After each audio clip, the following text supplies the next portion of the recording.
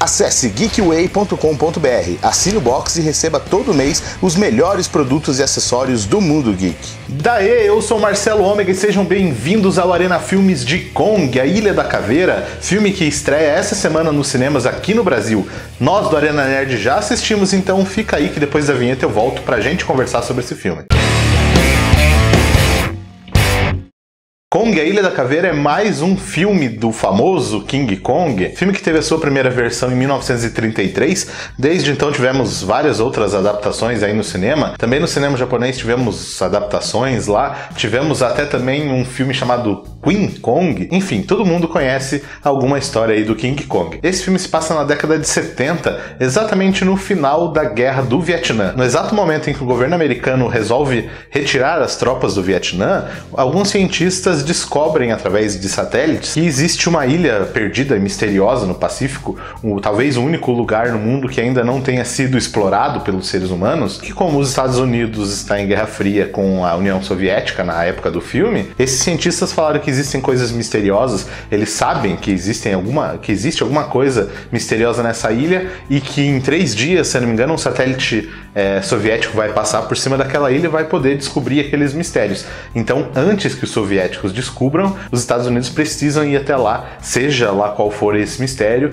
eles precisam descobrir antes que os soviéticos. Aí vai essa equipe de pesquisadores, junto com a equipe do exército, eles vão até essa ilha misteriosa. O filme tem no elenco a atriz vencedora do Oscar, Brie Larson, o Tom Hiddleston e o Samuel L. Jackson. Tem outros atores aí também, mas eles são descartáveis no filme, eles estão lá basicamente para morrer, para serem vítimas do Kong. Ah, na verdade tem também o personagem do John C. Reilly, que na verdade eu acredito que ele seja o personagem mais bacana do filme, pelo menos aquele que você tem mais empatia, você torce por ele. Além, lógico, de torcer pelo Kong, porque o Kong é a coisa mais legal que tem no filme. Mas e aí, Ômega? O filme é bom? Olha, Kong a Ilha da Caveira é um filme que tem muitos problemas, mas mesmo assim ele consegue ser bem divertido. O roteiro do filme é bem preguiçoso, ele não ele não desenvolve é, a fundo as coisas, nenhum personagem. E na verdade, nem é esse o, foco do filme mesmo, porque eles têm que desenvolver a história do Kong, não dos personagens. Como eu falei, eles estão lá só para morrer, né? Mas na verdade, nem a mitologia toda assim do Kong é realmente muito aprofundada. Existe uma civilização na ilha, eles encontram uma civilização bem primitiva. Tem junto o personagem que eu falei do John C. Reilly e ele serve basicamente para explicar essa mitologia do Kong, mas eles explicam de uma maneira bem rápida. O Kong ele tá lá na ilha como um rei, ele é o rei da ilha basicamente. Ele é visto por essa civilização como um deus que protege eles dos outros inimigos, porque na ilha é bacana isso aí, porque tudo é gigante lá, tem aranhas de sei lá 10 metros de altura, tem búfalos gigantes. Eles falam também que tem formigas, mas elas não chegam a aparecer. Enfim, os animais da ilha são realmente todos gigantescos. E o Kong protege todo mundo ali da ilha contra a ameaça maior, que são os lagartos caveira. Mas aí você vê no filme que justamente o Kong tá lá para proteger essa civilização, mas essa civilização só tá no filme para poder explicar que o Kong tá lá para proteger eles, senão o Kong não teria nenhuma, nenhum objetivo real na ilha. Então, assim, o roteiro do filme, as justificativas do filme são nesse estilo, são algumas coisas você fica pensando, acontece no filme você fala, hum, poderiam ter feito de outra maneira. Mas se você não se preocupar com isso, com tem bastante coisa forçada, né, no filme, mas se você relevar tudo isso aí, você vai se divertir. E a maioria dos problemas que acontecem no filme, eles estão em volta desse lagarto caveira. Primeiro que ele tem um visual, acho que um pouco um pouco estranho, assim, ele é, a, digamos, a parte de cima dele ali, do, do tronco para cima, ele é bacana, mas só que ele só tem duas patas, ele se arrasta de uma maneira estranha. O Kojak que foi assistir o filme comigo, ele se incomodou bastante com isso, né? Achou que eles poderiam ter feito um design ali do, do bicho de uma maneira mais real, porque todos os outros animais da ilha são reais, são, como eu falei, aranha gigante, formiga gigante, um búfalo gigante, um macaco gigante, mas aí o inimigo ele tem uma, uma cara mais de alienígena, assim, uma coisa que ficou um pouco falso. Talvez se ele fosse um lagarto aí, mais estilo, sei lá, um dragão de Komodo, ou um, até uma iguana gigante, sei lá, qualquer coisa assim, ele ficasse, né, aproximasse um pouco mais da realidade. Mas as lutas dele com o Kong são fodas. São, os nossos efeitos são muito bonitos, assim. A fotografia do filme é legal, lógico, é ajudada pelo, pelo cenário bonito também que tem na ilha. O visual também ainda é complementado com uma trilha sonora bem legal, com clássicos da época da Guerra do Vietnã. Por falar em Guerra do Vietnã, essa presença do, do exército ali, que é liderado pelo Samuel Jackson, é, dá esse clima de Guerra do Vietnã realmente para para as coisas e fica bem legal isso aí. Eles estão sempre sendo caçados por algum bicho gigante. Eles têm que é, procurar uma maneira de vencer eles. Como tem uma cena que eles estão ali no meio do, um quase um deserto, assim, um cemitério, né, uma cova. Esse lagarto gigante está perseguindo ele no meio das nuvens de gases, né, pela decomposição dos animais ali. É uma cena bacana. Ela tem várias, vários problemas nela também, como por exemplo, né, o puta de um bicho gigante, ele não faz barulho nenhum. Né, e de repente ele pá, aparece e faz aquele barulhão para dar um susto, para surpreender alguém. E daí ele some de volta. Ele só faz barulho na hora que ele aparece na tela. Ele sumiu da tela, ele é mudo. E outra coisa forçada nessa cena também é que ele engole um cara que tá com uma câmera fotográfica disparando flash, e daí você não consegue ver, né? O, o animal ele fica no meio da névoa lá.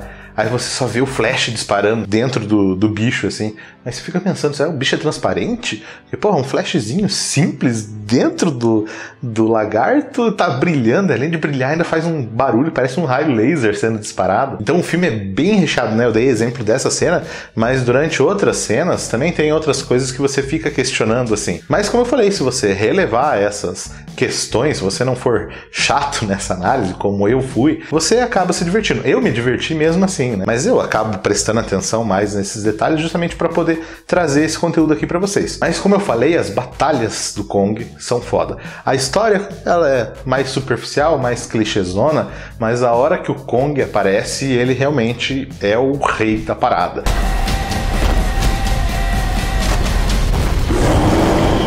primeira vez que ele aparece ele aparece ali na primeira, na primeira cena, aparece a mão dele e tal. Mas, né, durante o filme, quando ele aparece de volta ali, quando o exército chega na ilha, é uma cena muito foda. O Kong de 30 metros de altura é o maior Kong já representado nos cinemas americanos. Teve uma versão japonesa, como eu falei, que ele tinha 45 metros. Agora ele tem 30. A última versão do filme do Peter Jackson ele tinha 7 metros e meio. Então você vê a grande diferença. Tem essa cena aí que eu vou colocar, que ele tá na, no sol você vê como ele realmente é um, o Kong foda, ele impõe respeito pelo tamanho dele. E ele é inteligente, ele é habilidoso nas lutas, sabe?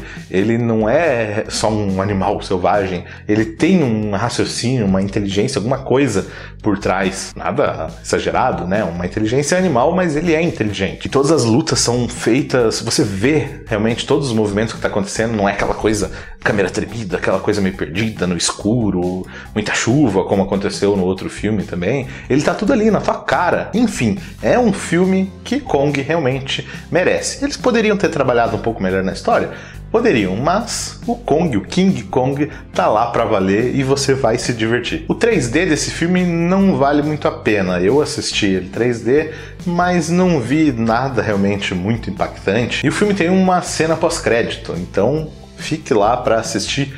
Eu vou falar um pouco sobre o que ela é, porque na verdade não é nenhum grande segredo isso aí. Essa cena, ela serve para explicar o tal do Monsterverse ou Monstroverso, né, em português seria algo assim que está chegando nos cinemas. A gente teve o filme em 2014 do Godzilla, agora a gente tem esse filme do Kong, teremos o Godzilla 2 em 2019, aí em 2020 teremos King Kong versus Godzilla. É, eles estão unindo os universos dos monstros gigantes no cinema. Enfim, são uns quatro inimigos gigantes do Godzilla que aparecem, né, numa pintura é, nessa cena final. Então vale a pena ficar ali porque eles vão explicar um pouquinho, né, bem pouquinho, de que realmente existem monstros gigantes além do Kong. E antes que vocês reclamem, eu só falei da, da cena final, é justamente para poder trazer essa, essa informação desse universo compartilhado. Inclusive, até foi esse um dos motivos de o Kong ter 30 metros, para ele ser equivalente, para dar, dar a luta aí com o Godzilla, né? Porque senão, se ele fosse muito pequeno, o Godzilla muito grande, ia ficar meio, meio desequilibrado a parada. Enfim, vá lá, assista.